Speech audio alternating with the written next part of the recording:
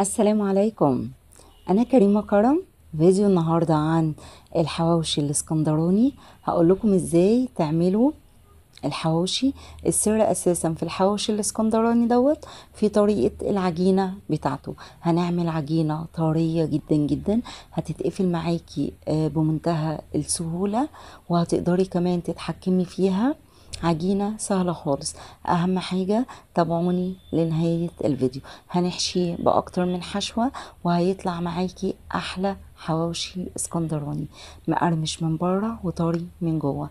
وهقولك إزاي كمان تسويه في قلب الطاسة على البوتاجاز بمنتهى السهولة. هطلب طلب صغير جدا. أنا عايزة كل اللي يتفرج على الفيديو دوت يعمل إعجاب للفيديو. أنا عايزة الفيديو ده يوصل لحوالي 500 إعجاب. خلاص أقول لكم على حاجة نخليهم 300 أهم حاجة اللي يشوف الفيديو يعمل إعجاب للفيديو. شايفين العجينة بتاعتي؟ عجينة طرية إزاي؟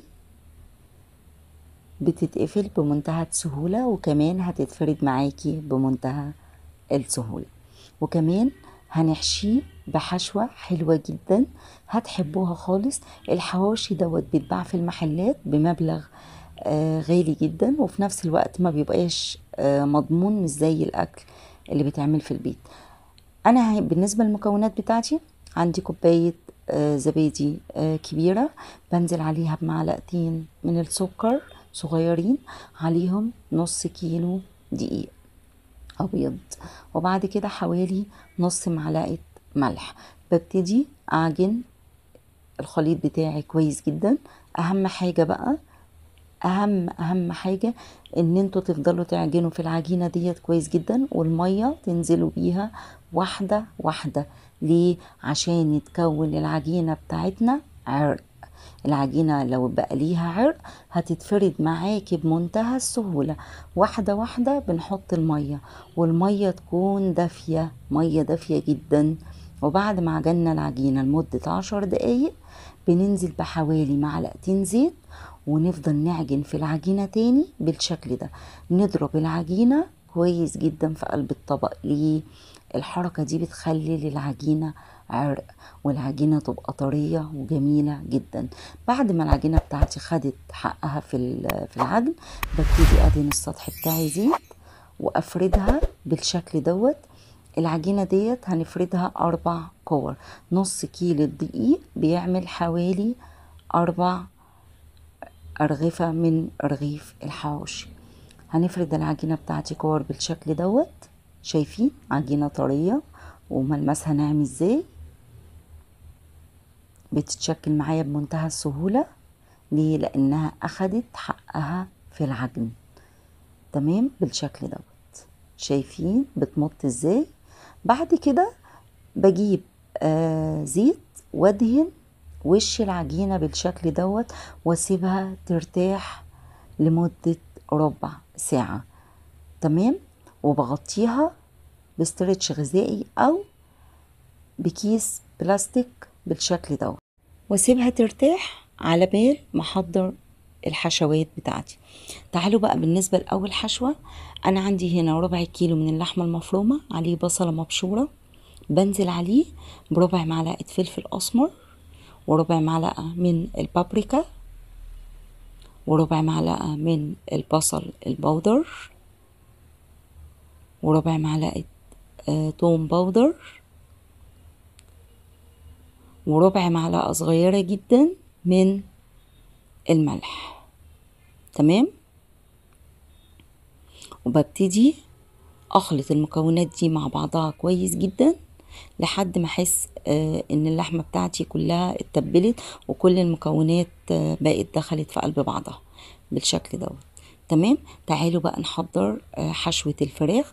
أنا عندي هنا آه صدور فراخ متقطعة قطع صغيرة جدا آه بصلة متقطعة عندي فلفل رومي أخضر ده بارد.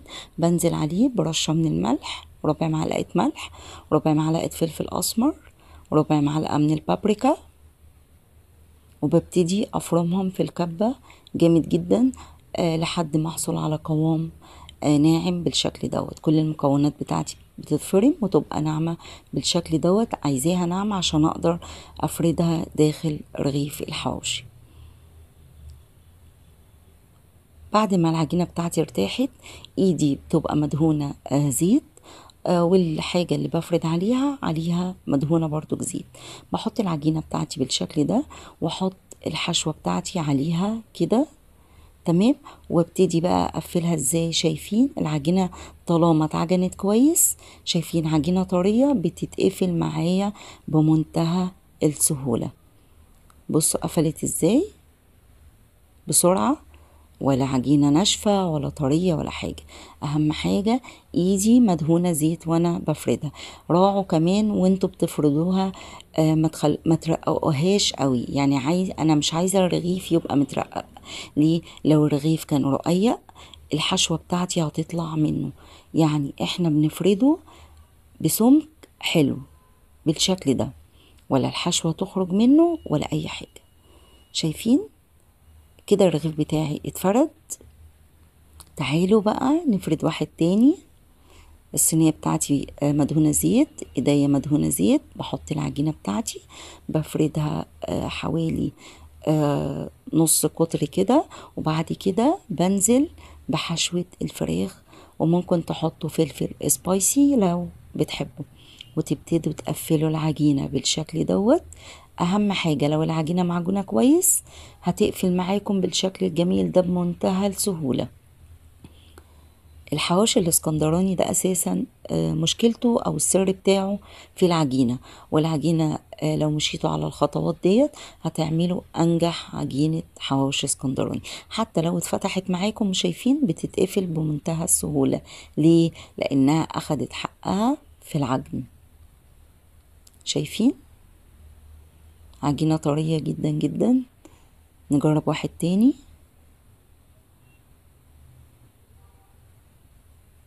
شايفين بتتقفل بسرعة إزاي؟ وبنفردها في قلب الرغيف بالشكل دوت. الحشوة بتتفرد بالشكل دوت. ومش ترققوا الرغيف. عايزين الرغيف يبقى متماسك عشان الحشوة مش تخرج منه. شايفين؟ تتفرد بمنتهى السهولة. تعالوا بقى أقول لكم هنسويها إزاي. أنا عندي طاسة سخنة على النار.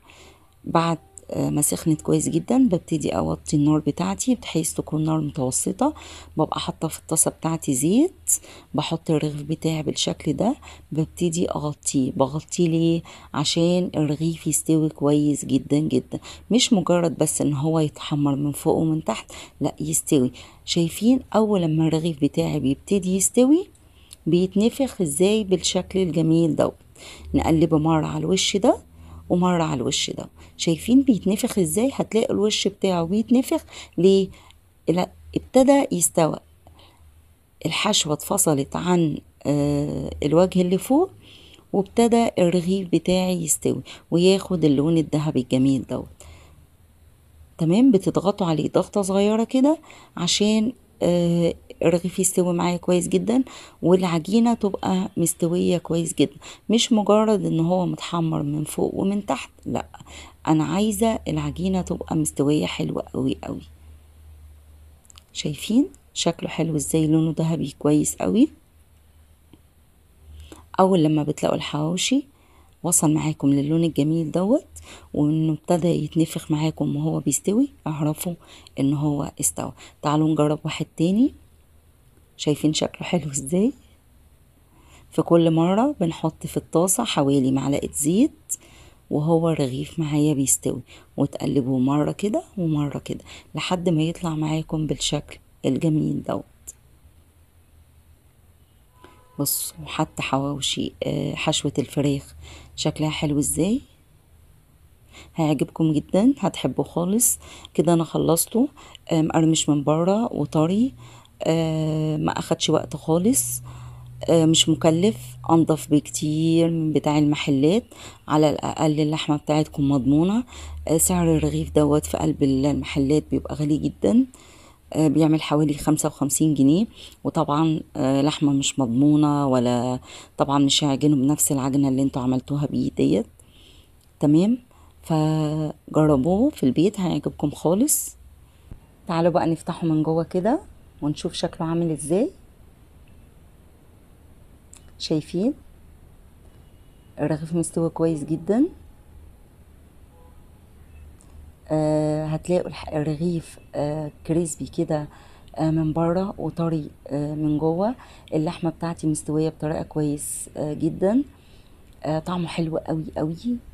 آه تاكلوا معاه آه تاكلوا جنبه آه ترشي أو مخلل زي المحلات أو ممكن تعملوا جنبه آه مايونيز آه كاتشب. آه تعالوا نفتح واحد تاني. شايفين؟ الرغيف مقرمش من بره. شايفين برضو كده الرغيف التاني عامل إزاي؟ المنظر اللحمة فيه ومنظر الرغيف بتاعي شكله حلو قوي. ده حواوشي الفراخ. شايفين؟ شكله حلو إزاي وطعمه أحلى وأحلى.